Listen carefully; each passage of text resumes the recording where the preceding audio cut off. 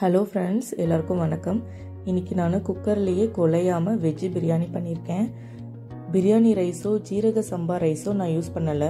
நம்ம நார்மல் சாப்பாட்டு அரிசி பொன்னி ரைஸை யூஸ் பண்ணி தான் நான் குக்கர்லேயே பிரியாணி பண்ணியிருக்கேன் டெய்லியுமே நம்ம குழம்பு கறி இந்த மாதிரி செஞ்சு செஞ்சு போர் அடிச்சதுன்னா வாரத்துக்கு ஒரு நாள் இந்த மாதிரி வெரைட்டி ரைஸ் பண்ணி சாப்பிட்லாம். ஆஃபீஸ் போகிறவங்களுக்கும் இது ரொம்ப ஈஸியாக இருக்கும். வாங்க இந்த ரெசிபி எப்படி செய்கிறதுங்கிறத பார்க்கலாம்.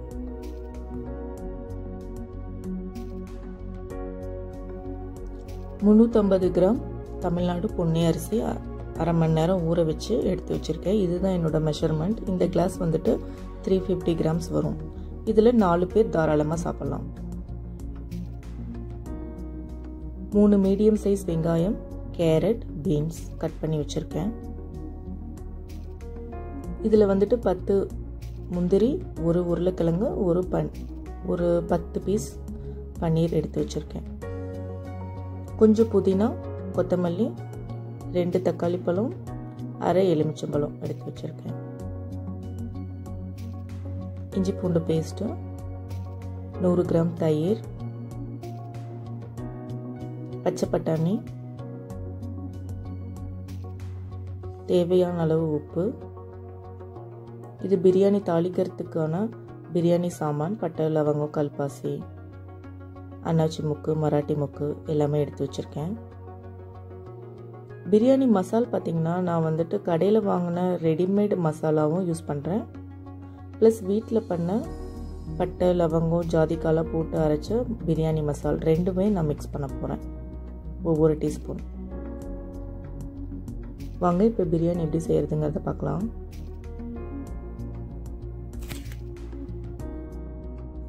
குக்கரில் எண்ணெய் காஞ்சிருச்சு. ஃபஸ்ட்டு நான் முந்திரியை ஃப்ரை பண்ணி எடுத்துக்கிறேன்.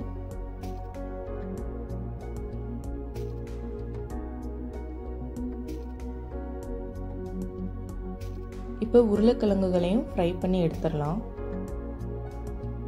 நம்ம நார்மலாக பிரியாணி செய்யும்போது உருளைக்கிழங்கு காலிஃப்ளவர் இது எல்லாமே நம்ம அதுலேயே போட்டு நம்ம குக்கரில் மூணு விசில் விடும்போது உருளைக்கிழங்கு காலிஃப்ளவர் எல்லாமே குழஞ்சி போயிடும். அந்த பீஸாவே நம்மளுக்கு வராது இல்லையா?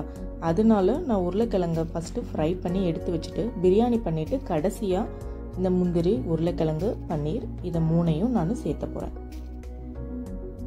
உருளைக்கிழங்கு ஃப்ரை பண்ணி எடுத்தாச்சு. இப்போ பன்னீரை ஃப்ரை பண்ணி எடுத்துக்கலாம். பன்னீர் பார்த்திங்கன்னா உங்களுக்கு அடியில் ஸ்டிக் ஆகும் பாத்திரத்தில். இது நான்ஸ்டிக் கிடையாது இல்லையா? அதனால நம்ம கொஞ்சம் அதை கேர்ஃபுல்லாக தான் பன்னீரை ஃப்ரை பண்ணி எடுக்கணும். கொஞ்சம் கிளறி விட்டுகிட்டே இருக்கணும் லைட்டாக நீங்கள் ரொம்ப போட்டு கரண்டியை போட்டு இது பண்ணாலும் பன்னீர்லாம் உடஞ்சி போயிடும். அதனால் ஸ்மூத்தாக அதை ஜஸ்ட்டு டேர்ன் பண்ணி ப்ரௌன் கலர் வந்ததுக்கப்புறம் பன்னீரை எடுத்து வச்சுருங்க. இப்போ எடுத்து வச்சுட்டு இந்த எண்ணெயிலேயே நம்ம பிரியாணியை செஞ்சு எடுத்துடலாம். இப்போ பட்டை லவங்கம் கல்பாசி அனாச்சி முக்கு மராட்டி முக்கு பிரியாணி சாமான் எல்லாத்தையும் சேர்க்குறேன். நல்லா புரிஞ்சிடட்டும்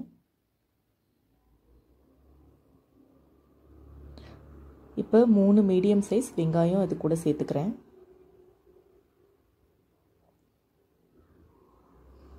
வெங்காயம் எப்பயுமே நல்லா வணங்கணுங்க. அப்போ தான் பிரியாணி நல்லா டேஸ்ட்டாக இருக்கும். ஒரு அஞ்சு நிமிஷமாவது தேவைப்படும். வெங்காயம் இஞ்சி பூண்டு எல்லாம் வணங்குறதுக்கு. நல்லா வணக்கலாம். இப்போ நான் அஞ்சு நிமிஷம் கொடுத்துட்டேன். வெங்காயம் நல்லா வணங்கிருச்சு. இப்போ நான் இஞ்சி பூண்டு பேஸ்ட்டு இது கூட சேர்த்துறேன்.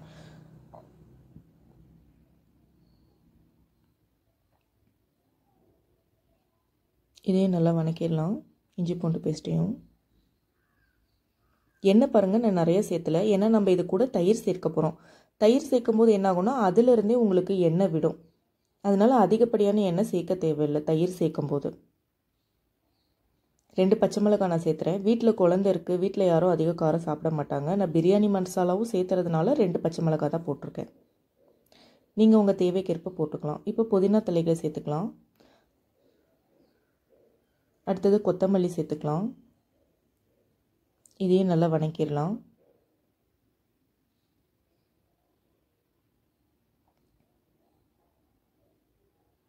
இது ரொம்ப ஈஸியான ரெசிபிங்க. ரெண்டு தக்காளி பழங்களை சேர்த்துக்கலாம்.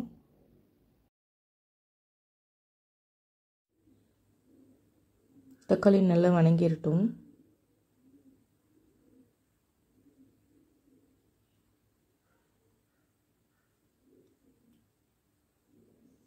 இப்போ தயிர் ஒரு கப் சேர்த்துறேன்.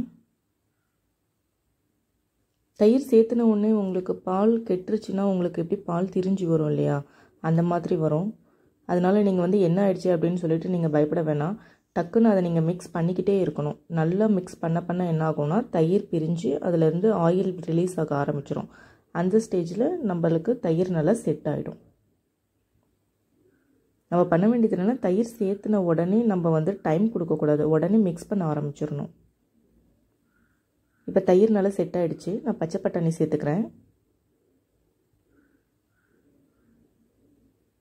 கேரட் பீன்ஸ் சேர்த்துக்கலாம். இது கூடவே நீங்கள் வந்துட்டு மீல் மேக்கர் இல்லை உங்களுக்கு வேறு ஏதாவது காய்கறிகள் வீட்டில் இருக்குனாலும் அதுவும் சேர்த்துக்கோங்க.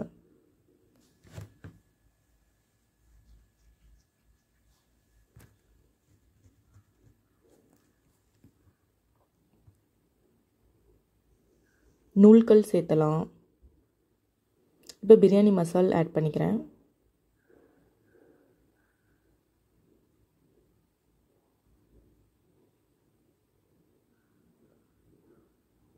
அரிசி சேர்த்துக்கலாம்.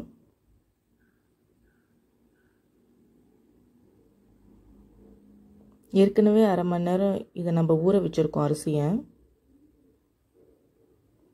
ரெண்டரை கிளாஸ் தண்ணி விட்டுக்கலாம். ஒரு கிளாஸ் அரிசி எடுத்திருக்கேன் நான். அதனால் ரெண்டரை கிளாஸ் தண்ணி சேர்க்குறேன் இது கூட. தண்ணி சேர்த்துட்டு நம்ம அரை எலுமிச்சம்பழத்தை இதில் பிழிஞ்சு விட்டுறலாம்.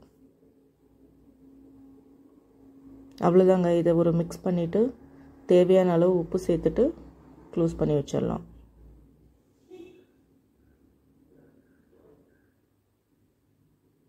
மூணு விசில் விடணும். ப்ரெஷர் ரிலீஸ் ஆனதுக்கப்புறம் தான் குக்கரை நம்ம ஓப்பன் பண்ணணும். ஓப்பன் பண்ணிவிட்டு நம்ம ஃபஸ்ட்டு நம்ம முந்திரி உருளைக்கிழங்கு பன்னீர்லாம் ஃப்ரை பண்ணி வச்சுருந்தோம் இல்லைங்களா? அதை இது கூட நம்ம சேர்த்துக்கலாம். சேர்த்துட்டு நல்லா சூடாக சர்வ் பண்ணலாம். ரொம்ப டேஸ்ட்டாக இருக்குங்க. இதை நீங்கள் கண்டிப்பாக வீட்டில் ட்ரை பண்ணி பார்த்துட்டு எப்படி இருக்குது அப்படிங்கிறத எனக்கு கமெண்ட் பண்ணுங்கள் என்னோடய சேனலை சப்ஸ்கிரைப் பண்ணுங்கள் என்னோடய ரெசிபிஸ் பிடிச்சிருந்தா உங்கள் ஃப்ரெண்ட்ஸ்க்கும் என்னோடய சேனலை ஷேர் பண்ணுங்கள் தேங்க்யூ ஸோ மச் ஃபார் வாட்சிங்